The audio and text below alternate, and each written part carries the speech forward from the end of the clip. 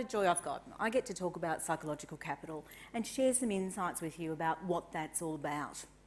But I might start with a, a little story. Um, and the story is about, I guess, a little bit of my journey. And believe it or not, and I'm going to carbon date myself now, um, I've been in the consulting business for about 18 years, and I buggered about in organisations for about 15 years before that. And all the time, I was curious about a question. I was curious about what is it that unlocks and activates performance? And then chasing behind that, what is it that kind of triggers people to flourish and find their potential? So, more than 30 years on the journey. I was feeling pretty tired. Then I tripped into Melbourne Uni and I tripped into some positive psychology, and everything just started to come together. And psychological capital was one of the things that jumped out at me because it was one of those things that occurred to me was missing.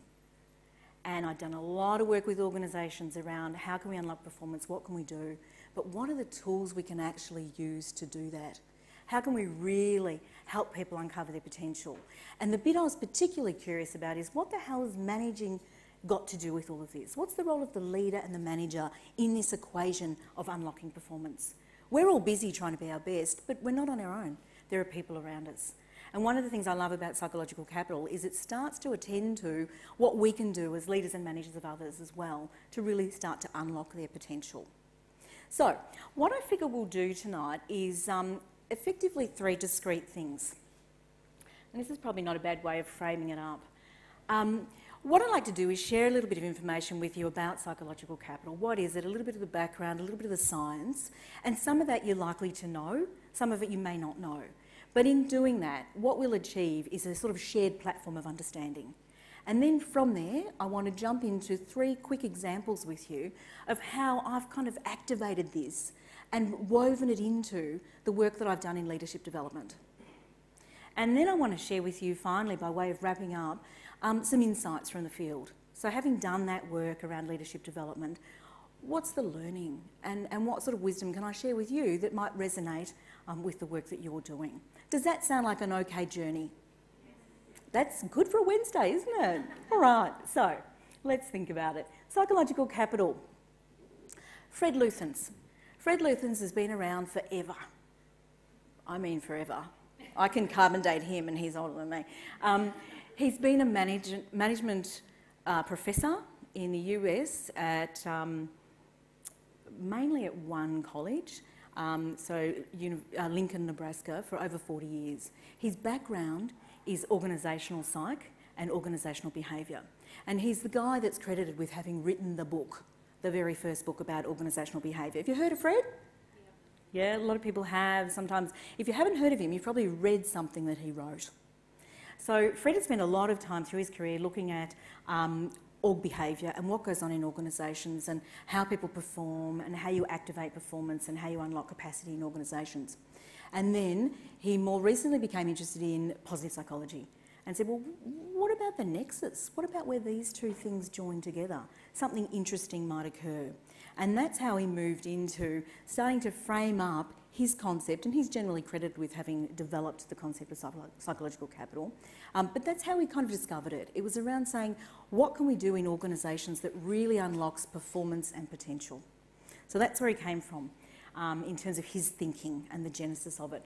He's prolific. He writes and he writes and he writes. And um, if you want to inquire more and you're curious about psychological capital, then either of um, the two books that Fred's co authored um, around psychological capital are a great place to start, as is Googling him, and you will find a ton of articles, information, YouTube clips. Um, he's been a really great promoter of psychological capital, what it's all about, and how people can use it. So, what Fred's also really good at is packaging concepts and ideas. Really good at it. And one of the things we often struggle with with organisations and thinking about positive psychology and how we can bring it to life in organisations is this question of how will I sell it? What will I say that doesn't have everyone running for the hills thinking it's very kumbaya and we're not doing that here? And what Fred has been great at is packaging positive psychology into an organisational language and an organisational narrative. And I've found from personal experience that makes it very easy to kind of land it, sell it, get people engaged enough to experiment and then get a result. And here's how he does it. When we think about um, capital in organisation, um, Fred talks about, and I agree with him, that there's four kinds of distinct capital that we can think about. Um, and see if you notice this just creep up on you in a way that sounds pretty safe. So the first is financial capital, money, resources, the tools we've got. We've known about that for years. And then there's human capital, the people, their skills, knowledge, attributes, all of the talent that they bring into the equation. And then more recently, we've added to the mix social capital, this idea that it's not just what we know, but who we know. That's somehow going to add value and add advantage to performance and business outcomes and results. So, psychological capital sits neatly as the fourth piece in that pie. And psychological capital is particularly attending to who are we and who are we becoming. So that makes sense, doesn't it? It sits there very neatly. Now, if you're an organisation and you're interested in making the most out of your capital, sweating your assets, why wouldn't you be doing this? Doesn't feel scary. Nobody needs to hug anyone yet. It's all going to be okay. So organisations are often quite receptive to it in a way that they might not be receptive to an emerging um, theory that's based in psychology. This seems safe, so you can get some traction. So, what is psychological capital and how did he get hold of it? Now, I'm going to talk a little bit about the four discrete components that make up psychological capital because it's a second order construct. And what that means is it's just a higher sort of overarching construct that is a combination of four other elements that are sitting underneath it. Does that make sense? Yeah. Um, but because it's come out of organisational behaviour, and then specifically positive organisational behaviour, it is preoccupied with behaviour, the actions and the way in which people interact and react and work together. So there's a strong focus on interactivity. And what's interesting is psychological capital is by and large seen as state like. That is, it's a state that people can be in that can be developed. Now, at the very end of the state like continuum, I guess, is emotions, fleeting emotions. Psychological capital is further along the continuum than that, in about a midpoint, but not as far along a continuum as a trait that we typically think people are going to be born with. So, what that means is it's sitting in a sweet spot where it can be developed. And again, that's a nice leverage point because why would we invest time and effort on something when we don't know confidently we can develop? So, the positioning of it as a state that can be developed and is reasonably stable over time is a key to why we would engage and get involved in developing psychological capital. In framing up what the four elements that would sit under the title of, fun, of psychological capital would be, um, there was a criteria. And the criteria consisted of four key drivers. And they were that anything that was included in the definition of psychological capital had to be based in the theory, had to be grounded in theory and research.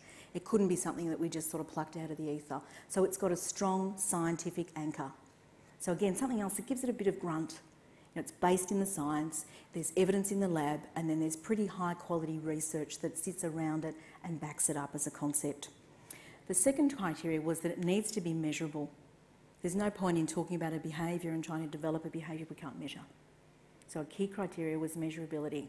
And then our mate Fred, who's so good at packaging, he invented a measure for that.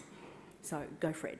Um, so what you can do is you can pre and post measure. You can pre-measure someone's level of PsyCap, psychological capital. You can have an intervention, and then you can post measure. And you can evidence that there's been movement on the needle.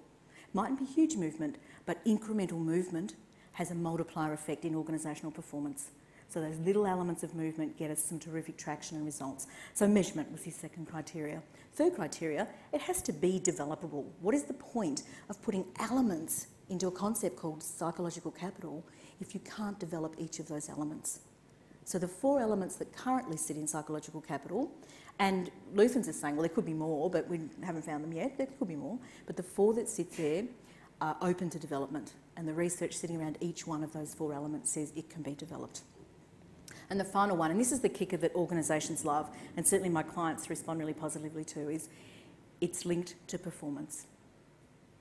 The evidence seems compelling. If we develop psychological capital, and we can develop it, and we can measure that that's occurred, there is a link to performance. We can see over time incremental lifts in performance.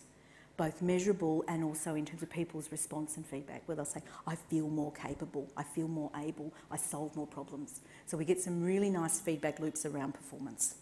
So organisations love it. Has that been your own experience? People have used it? It resonates, and we still haven't had to hug anyone. so, what is it? Let's just have a quick dig underneath and see what's underneath psychological capital. Um, four key constructs sitting underneath the title, if you like, or the, the higher order name, psychological capital. The first one is hope. So, in building psychological capital, it wasn't about saying, let's get some new concepts and, and stitch them together. It was about saying, let's look at some concepts that are around that have been well tested and are well regarded and see what happens in the dynamic of pulling them together. So that's what we're doing. So the first is hope. And the work that's drawn on in here is Snyder's work around hope theory. So agency, pathways, and goals. Someone feels that they've got agency, they're able to influence someone, they can see some pathways or something, they can see some pathways, some ways they're going to do that, and they're goal oriented, so they'll set some goals around that. That's that subset of hope, that's what we mean. So, hope theory and what that looks like in practice, and we can teach that. We can teach pathways and goal setting. And people will set goals and find ways to do things that they believe they can influence. That's their agency. Make sense? So we can teach it. The second thing is self efficacy. Um, Albert Bandura's work in the 80s around that sense of, I believe I can do this, I believe I've got the capacity to do it, self efficacy. And again, people that bring themselves to a task with a sense of, I've got this, I can do this, I can work with you and we can do it together. But that sense of, I'm active, I can do it, I'm capable, self efficacy.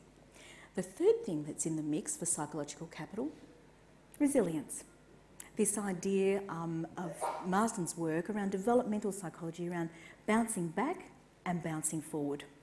So, through tough experiences or even adverse circumstances when we feel under threat, stepping up, standing up, and meeting those challenges and working through them. That sense of resilience. And again, we can teach that once people understand what it is and think about when they've done that themselves. We remind them that they've already got that resiliency, which immediately feeds into their sense of self efficacy. So the whole thing feeds itself. Final element is optimism. And that's pulling up Marty Seligman's work on learned optimism, where we're saying, you know, the people that have an optimistic outlook present themselves to tasks and life in a more optimistic way. And that has a positive spin into then the results they achieve and the work that they do. Nice. Four really powerful underlying elements each with a high quality deck of um, science behind them that enable us to say, this is a sound kind of theory.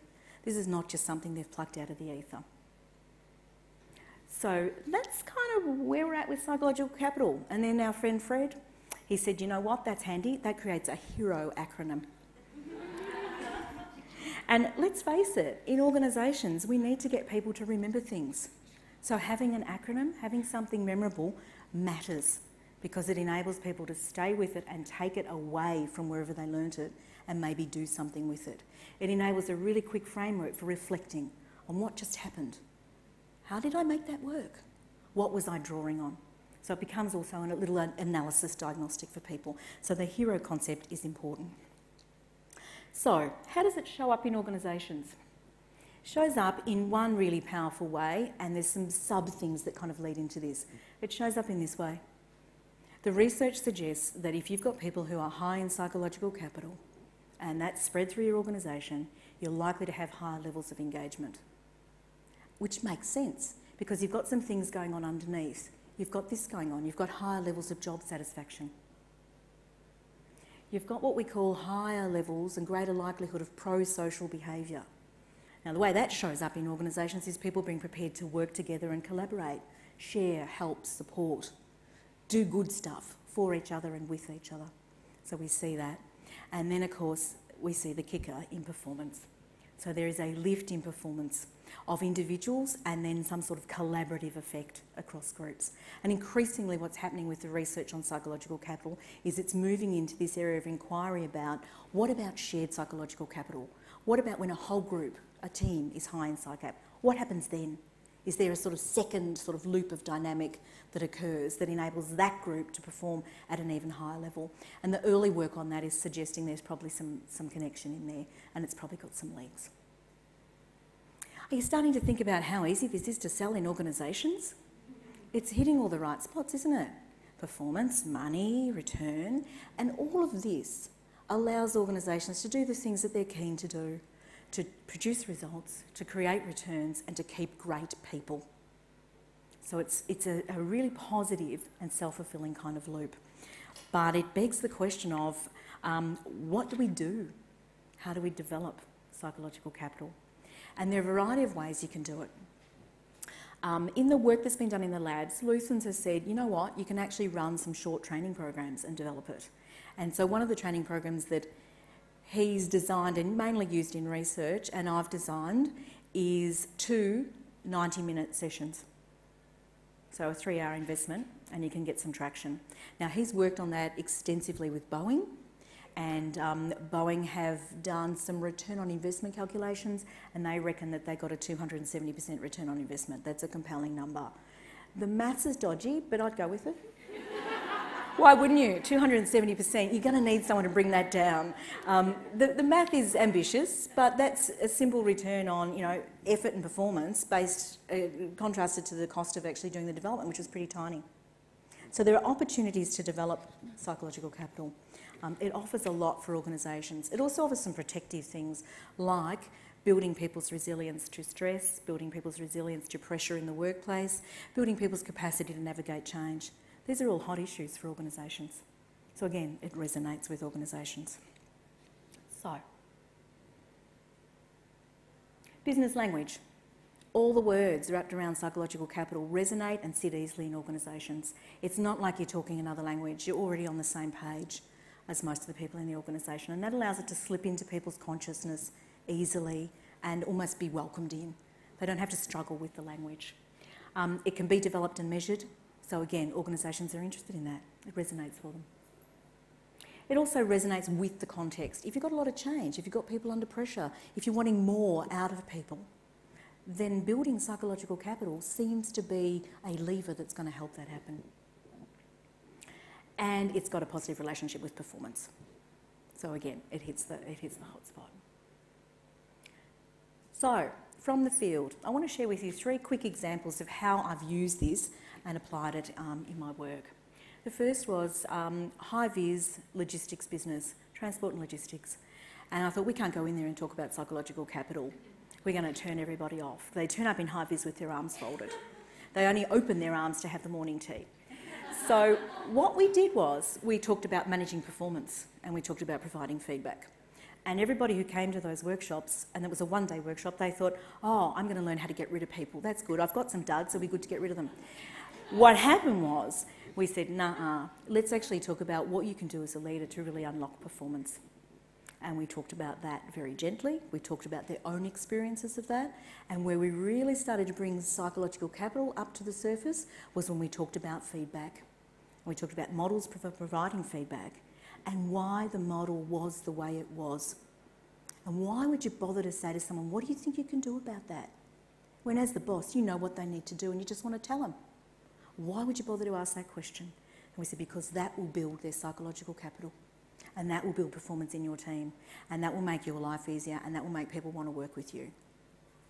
And all of a sudden, arms got unfolded and people started to say, oh, this looks all right. And I had a guy in high vis who'd come off night shift and I said, what do you reckon? And he stopped the room and he said, that's grouse. he said, good. And then he said to me, how long has this shit been around? a long time. So amazingly, high views, high, high contact, no real history of having decent quality conversations with people, and they used it. Um, what we also did, that was a global rollout with that organisation, and what we needed to do was train some trainers and develop some people um, in the skills of, of um, being able to run the workshop. And the people came to the train the trainer thinking, I'll be out of here in half an hour. And they were there for two days. And again, what we built was a context where what we're doing in this workshop is building psychological capital. And we gave the insights to psychological capital and then said that is why this workshop is building the way that it is. So we had people thinking, I don't want to run this training, shift to, I can't wait to do this, this is really powerful. And seeing that movement in the people they worked with. finally, um, we've used psychological capital really effectively in coaching training and using the GROW model. You familiar with the GROW model? Yeah. So when you talk about the GROW model, it maps to PsyCap, psychological capital, really neatly. Um, why would you ask that person to generate options? Because that's hope theory, that's pathways. Why would you ask that person, so what are you going to do? Because that's that goal setting and building their self efficacy. Why would you have multiple solutions available? Because when it gets tough, they'll think of something else to do. So there's a really nice mapping, and you know, there's a lot more detail we could go into, but there's a really nice mapping between psychological capital and the way that we train managers and leaders to coach people. So there's some experience from the field. Here's some wisdom from the field by way of wrapping up. Um, here's what we've learned. You've got to be crystal clear about why you're doing it. Why am I introducing psychological capital into this particular program? Why am I talking about it with this group of people? And I reckon on a good day, you've got to link that to strategy. In the high vis example that I shared, the issue they had was around employee engagement, and their engagement data was saying, you people are bad at managing performance and we need to get better at it. So there was a clear and compelling reason to have that conversation. You've got to tailor the approach to suit. With the high vis people, we never used the word psychological capital. We just hinted at it, but we didn't talk about it and train it explicitly. Um, you've got to share and celebrate success. And we did that so that people couldn't wait to get on this one day program in the, in the um, logistics environment. And these were people that had actively resisted training for years. But we started to share the good stories about how it was um, a way in which you could deal with, with people that were difficult to deal with. And everyone said, oh, I could get me a piece of that. I want to jump on board, and I've heard the food's good. And so they started lining up to come to the thing. Um, one of the things that we didn't do, and I really wish we had, was we didn't really think about measurement. We've got a soft and subtle measurement in the logistics high-vis one, in so much as we've got um, engagement data before we did anything and engagement data post. But it's a bit of a long bow to draw the two together. Um, what you can get is the psychological capital instrument to measure, and that's a much tighter, neater measurement of psychological capital. What was it before we did anything? What is it after? And how is it evolving? So really think about whether you need to measure it to evidence what's going on. Um, you've also got to consider readiness for learning, and if you think the organisation might be a bit resistant, look for the people that are, keen to go and ready to go. Scaffold for development. If you set people out with nothing, they'll probably fail. And what we did was we supported people and we would get them back and say, So what's happening? How are your conversations shifting? And if someone had had a success, we shared that. And it was well shared in their network. Um, but they were scaffolded and supported for, for development. When it didn't go well, we said, Okay, so resilience will be the thing you need to draw on right now. Um, and finally, keep at it. Development and potential are iterative. They don't happen in, in a blink. It takes time and it takes effort. So what do you do now? Um, I guess where I'd like to leave you is have a think about whether or not any of this has resonated. Is this something that your organisation could be interested in? If they are, and if you are, what I'd suggest is do a bit of reading, snoop around, you Google Fred Luthans and you'll be entertained for hours. There's plenty there. Snoop around, think about why you're doing it and what you'd get out of it. And if you think that there's something that's got some traction, happy to talk. Hopefully, I've prompted some thinking for you.